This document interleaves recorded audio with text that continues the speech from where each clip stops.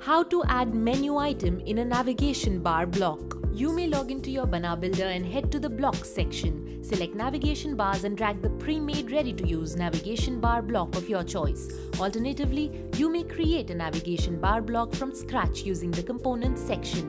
Once the navigation bar block is dragged and placed, click on the Edit option of any menu item. In the Block Editor section, click on Clone.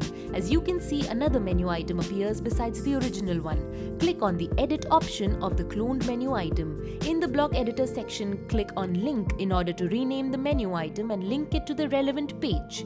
Click on Apply Changes. Once the changes are applied, the cloned menu item will appear with the associated name and be linked to the associated page or block. Subscribe to our channel to receive updates on latest feature deployments, template launches, tips, tricks, and tutorial videos. Visit banaa.com and build your own website within minutes.